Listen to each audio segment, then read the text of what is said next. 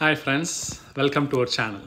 If you love our videos, please subscribe and also like the video to let us know of your feedback. Today, we are going to review the 2023 animated fantasy adventure movie Rally Road Racers. The movie got released on 12th May 2023 in US theaters with a rating of PG for some mild violence and rude humor. The movie is of length 1 hour and 33 minutes. Z is a small and lovable Loris that dreams of becoming a great auto racer one day like his deceased mom. I'm gonna be the champ. He lives with his grandma in the Chinese village Slow Loris. Z's grandma wants him to give up his love for racing but practice his Tai Chi. Z, on the other hand, never stopped painting soup parts and wearing them as helmets. In this movie, the martial art is shown to give a supernatural power to Z with which he is able to slow down time around him. Unlike the Flash, who can travel faster than light. Archie Vainglorious, the reigning champion of the rally car circuit, is also a real estate mogul. He's seen winning the Bonza Road Rally, So it's the last day of the Bonza Rally. And Archie Vainglorious is still the driver to beat. Thank you. Later, he buys the entire village of Slow Loris in order to build luxury homes called Muddy Meadows. Z goes to Vainglorious to see if he can get a deal for the deed of his grandma's house. At Vainglorious' place, he sees a trophy room filled with honors from around the globe. He also learns that Vainglorious is so confident and arrogant that he has already allotted a space to display the winner cup of the upcoming Silk Road Rally China. Coming soon. The Silk Road Rally. Oh, it's gonna be epic.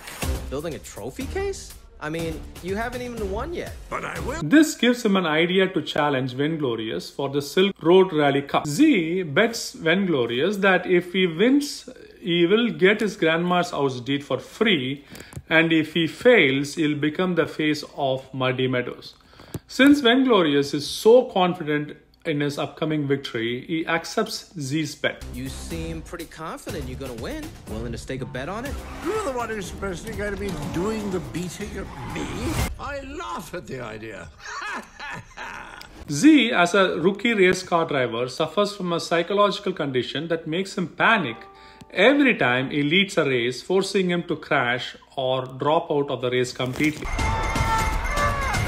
With no advantage towards him, Z wonders about his bet and the way to win the upcoming race. This is when he meets with the amazing Nash Court, a former race champion and currently selling bumper stickers. Why the long face, kid? Kinda have to sort of race the Silk Road Rally. Nash tells Z about the Silk Road Rally and also warns Z that Vainglorious is a dirty driver with a lot of tricks and weapons to cheat in the race. Race is no holds barred. 200 miles per hour for four days straight across unforgiving terrain against the craziest drivers in the world.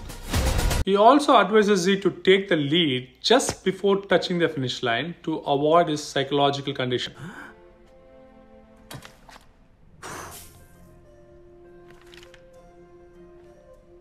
You were a race car driver? I've been lots of things. Hearing the reason behind Z's intention to win the race, Nash agrees to help him. I know! How am I gonna beat the best racer in the world? All right, kid. Listen. You got everything you need. He tells Z that in order to get his help, Z should never question him but follow his instructions religiously. I'm in way over my head. I can help you, but no questions asked. You would do that? But why? Okay, there was two questions right off the line. See you tomorrow. Nash tells Z that the art of a champion beats in all of us and we can achieve anything in life if we work hard for it. Kid, But you and me together, there ain't nothing we can't do. Whoa. Okay. With the statement, appearance is an illusion, Nash helps Z build a race car to suit his height, weight, and sight. Guy's car? If I had a car like that? Cars don't win races. Drivers do. Although, yeah, we actually are going to need it. Just like Minions, Vainglorious has an army of Yes-Men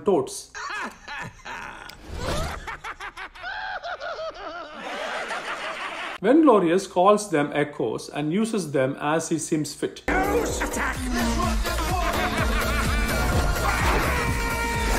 In fact, he even has a toad as a passenger in his race car, ejecting him during the race as an obstruction for his competitors. Vainglorious is seen not worried about the bet until he learns that Nash has built Z a car for the Silk Road Rally.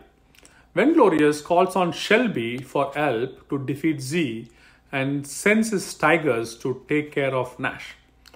On day one of the race, all racers assemble with the song playing, Who let the frogs out? Who let the frogs out? See what you got. Let's go! Come on! As the Silk Road Rally is told to be a race with no rules, and the racers are allowed to do anything to win, Vainglorious, taking full advantage of the rules, fires off missiles at his competitors, throws off his toad workers, and does other crazy things. Vainglorious takes the lead easily using his missiles and other obstructors. When Nash sees a race in trouble, he asks Z to stop and help. When the tiger accompanying Shelby attacks Nash, Nash overcomes and together with Z gets back into the race. Shelby is seen calling Vainglorious to report that the tiger could not handle the goat. At the end of day one, Z gets sixth position. Meanwhile, the demolition has started in the village as Granny is seen inviting the neighbors who lost their home. When Shelby meets Z again, she gets to know more about Z. She recognizes him to be an old acquaintance. She also gets to know that Z is not racing for fame or money or for the trophy, rather, he is racing for the deed of his granny's house as it is the last resting place of his mom.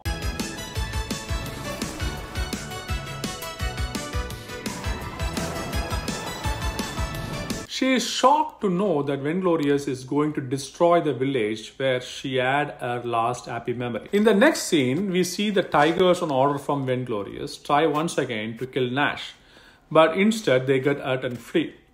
Z realizes his superpower to slow down time in this scene and is seen helping Nash and other friends to defeat the tigers. On the morning of day 2, we see a fans club cheering for Z. Irritated by Z's fans, Vainglorious goes to Z to change a bet. Vainglorious bets a deed of the entire village if Z wins. If he fails, he has to become an echo, kind of a slave to Vainglorious. Z accepts a new bet. Day 2 race starts. This time, Vainglorious leads Z and all other racers to a frozen lake so that they all get stuck in the lake or was gets killed when the ice on the frozen lake breaks. Vainglorious abandons an echo toad to escape from the lake. When Z escapes from the frozen lake, he rescues the echo toad, who then becomes his friend. Also, Z decides to sacrifice a lot of time on day 2 to help other racers who get stuck in the frozen lake. Z tells Nash that he joined the race to save family, and that is exactly what he is accomplishing by helping the other racers. At the end of day 2, Z, even after losing a lot of valuable time, climbs from his sixth position to the third position. When the interview crew asks him what he was thinking when he helped other racers, he tells them that his friends were in danger, so there was no time for him to think. In day two, we learn that the family of Vainglorious is involved in organized crime. Vainglorious' dad comes to pay him a visit when he hears about the bet. Vainglorious ad with Z and tells him that if he loses the race, he will lose everything. Z, meanwhile, dances with Shelby and starts to develop a feeling for her.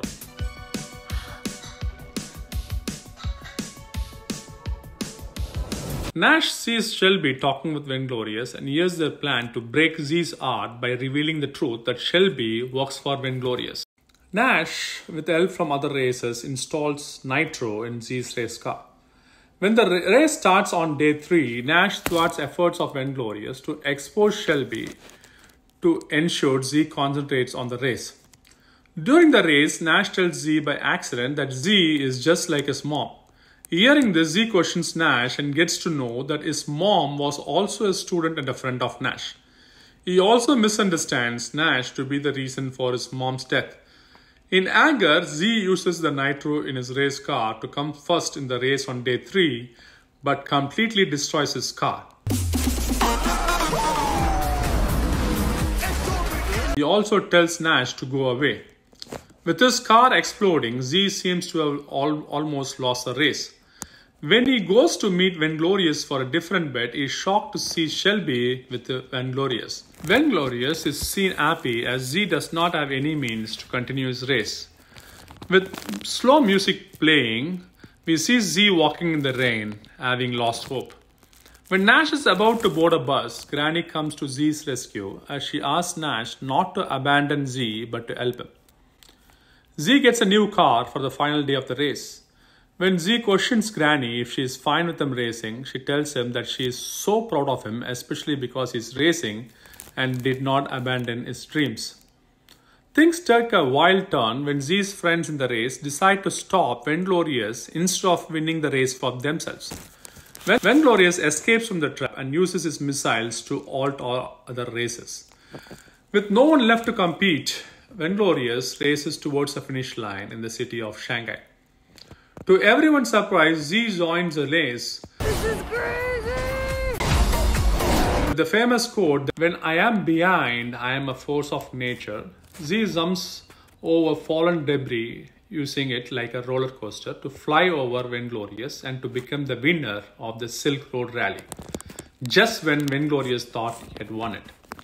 With the crowd shouting Z and Vainglorious getting punished by his dad, the deeds of the village are returned safely to its rightful owners. The movie ends with Z getting together with Shelby and the village of Slow Loris filled with joy.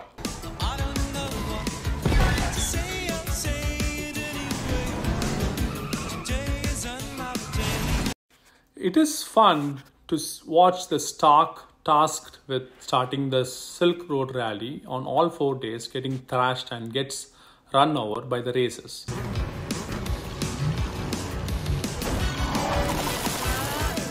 This movie teaches kids about patience, value of friendship, tradition, forgiveness, love, respect, and more importantly, the definition of winning in life with the quote, Winners are always winners even when they are losing.